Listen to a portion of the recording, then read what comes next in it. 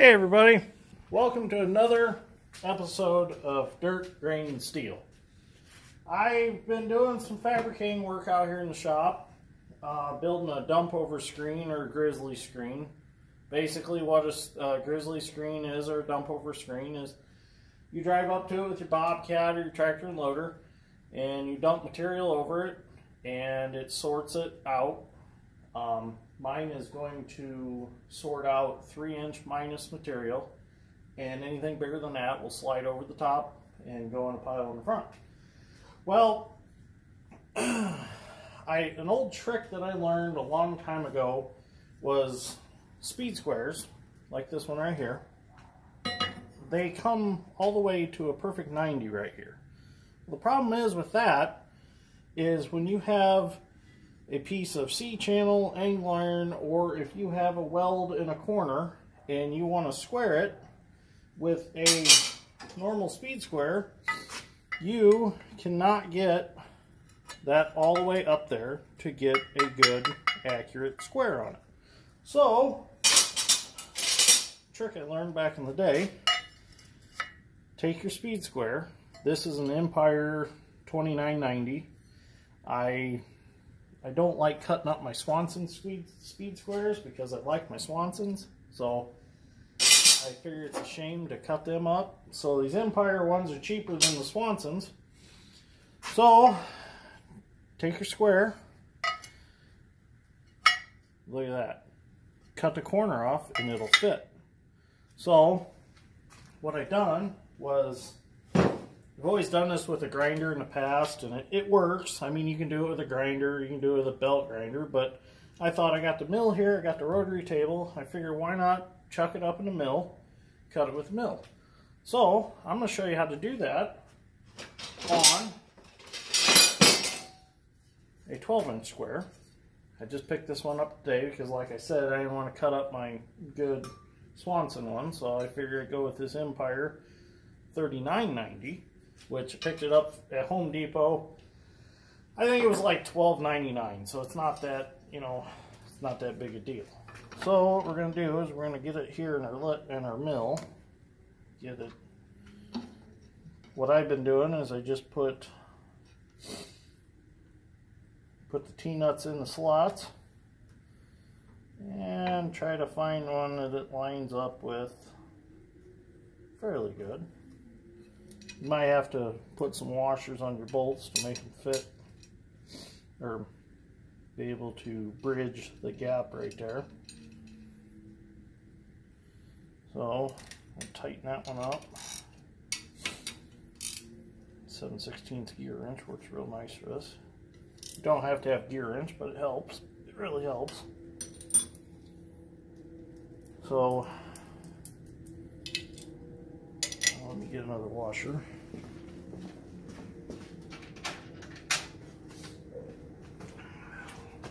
Beautiful day outside.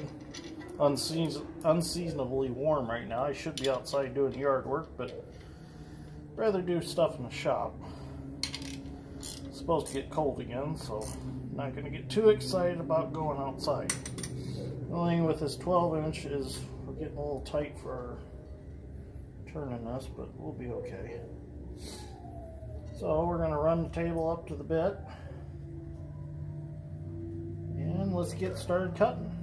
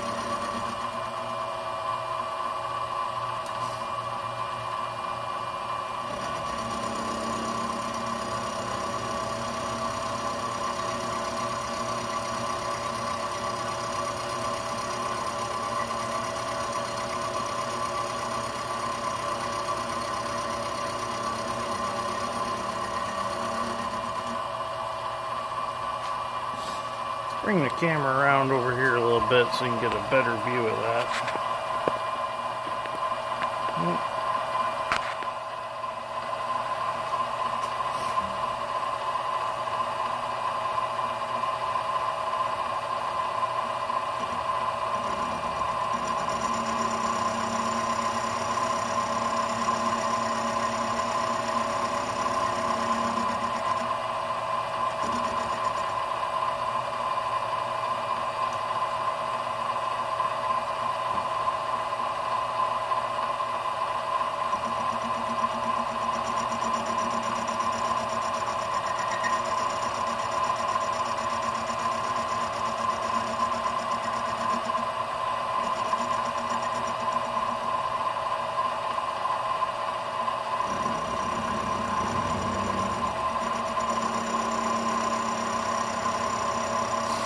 This rotary table came off Amazon. I don't know if it's quite the best, but for what I do, it works.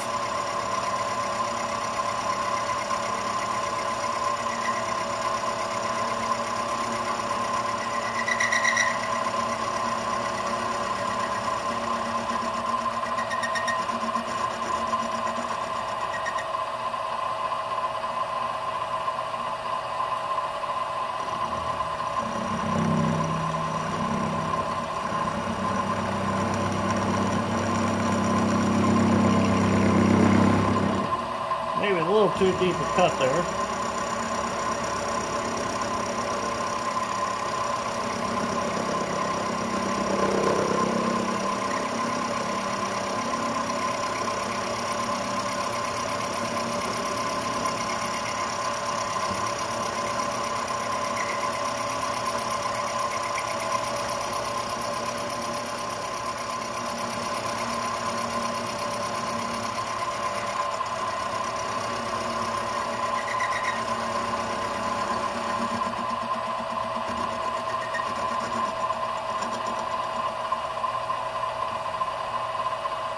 Around that edge just a little bit.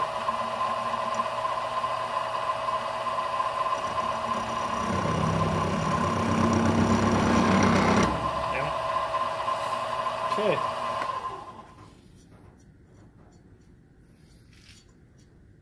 Well, May have gotten a little deep there, but uh, it'll be alright. See if we can trim that up a little bit.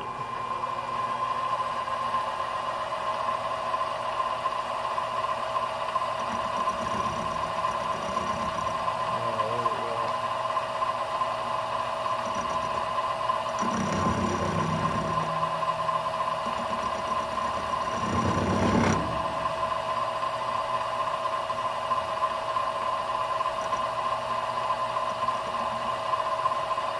There we go. Might touch that up with the belt grinder just a little bit. Okay. So, now, take this out of here. See how it turns out.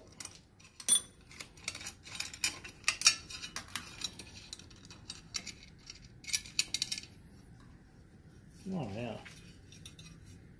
That'll work nice. So now you can shove that in the corner. I don't know if you can see that. Maybe move the camera a little bit here.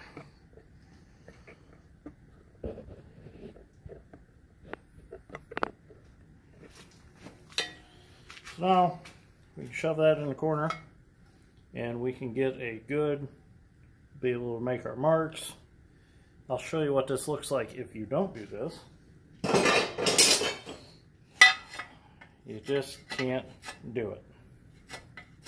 So this is going to be fantastic now. And I cut this one pretty good size because if you're using a 12 inch, usually you're using some pretty good size material and you're going to have some pretty good size welds that you might need to get over. So I hope everybody enjoyed this. Like and subscribe, please. I appreciate it. And I will have many other videos for you. I'm going to go clean this up a little because that don't look the best. I don't know. I got a little wild. So like I said, I'm still learning with the mill and the lathe and it's not too bad. But anyways, thanks for watching. I hope you enjoyed this. Have a nice day.